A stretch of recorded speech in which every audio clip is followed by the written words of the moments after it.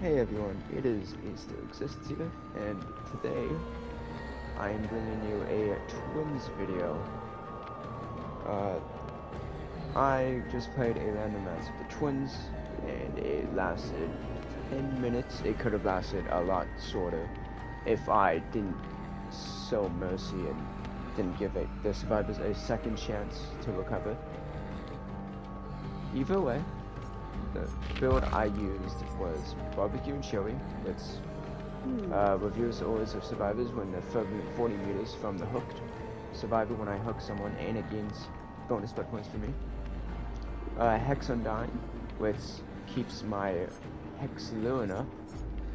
So if they cleanse a Hex, it'll always be Undying, but a Hex Undying reveals the auras of any survivors within 4 meters of any doll totem and then Thanatophobia. So every time for each in injured, dying, and hooked survivor, uh, all of the survivors receive a 5% up to a 20% repair, sabotage, and totem cleanse speed, action speed. And then Ruin, it doesn't allow me to kick gens, but the gens regress 200% of the normal regressing speed when no one is working on the gen. The add-ons I'm using or Toy Sword, but slightly decreases the time for Victor to charge a pounce. This makes it, instead of a 1 second charge, it is a 0.25 second charge. And Tiny Fingernail, which makes Victor unbind from Solid in 0.25 seconds instead of 1 second. Uh, anyways, I hope you enjoyed this uh, Sword Twins video. Uh, if you have any build suggestions you want me to do a twins, I have a simple clip on them, including Nemesis. So if you have any builds you would want me to try out for a video, leave them in the comments. Anyways, enjoy.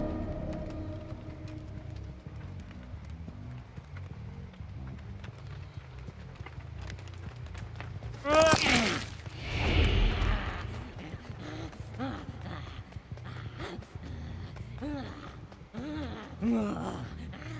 ah.